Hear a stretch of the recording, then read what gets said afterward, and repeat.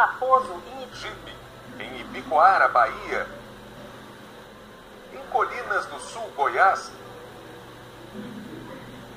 E em São Francisco do Oeste, Rio Grande do Norte.